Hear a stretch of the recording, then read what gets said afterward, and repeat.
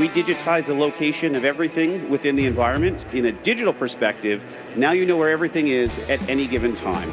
And that allows you to do some incredibly powerful things in terms of automate and integrate human process that traditionally hasn't been possible. So ZeroKey is accurate to 1.5 millimeters in 3D space. So it's guiding me to the correct bin, grabbing the correct part, and assembling in that fashion. If I were to go ahead and try to grab an incorrect part, I'm going to get an error in the workflow and it won't allow me to continue.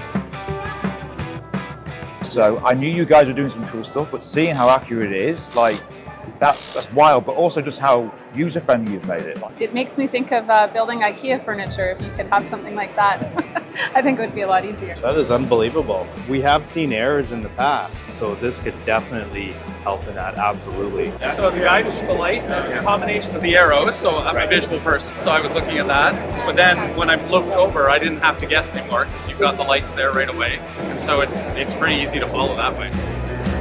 Beyond tracking our hands, now we can start to track additional items such as tools. So it's asking us to hit the first bolt.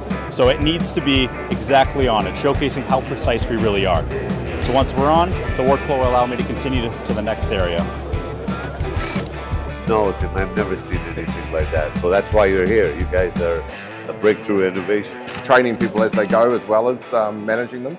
So it's sort of a win all round. The difference be between the limitations of the vision system, I think it's a very good solution for assembly and, and manual mount. Hey, that's awesome. Well done.